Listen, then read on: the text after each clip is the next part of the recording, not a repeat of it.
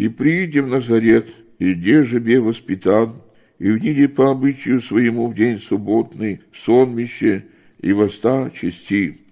И даша ему книгу Исаии пророка, и разгнув книгу, обрете место, и где же бе написано, «Дух Господень на мне, его же ради помазамя, благовестите нищим посламя, исцелите сокрушенное сердцем, проповедуйте плененным отпущение и слепым прозрение, отпустите сокрушенное во отраду, проповедуйте лето Господне приятно. И согнув книгу, отдав слузе седе, и всем в сонмище очи беху зряще нань, и начат глаголоти к ним, яко днесь сбысся Писание сие во уши вашью, и все свидетельствовах ему, и дивляхуся о слове всех благодати, исходящим из уст его.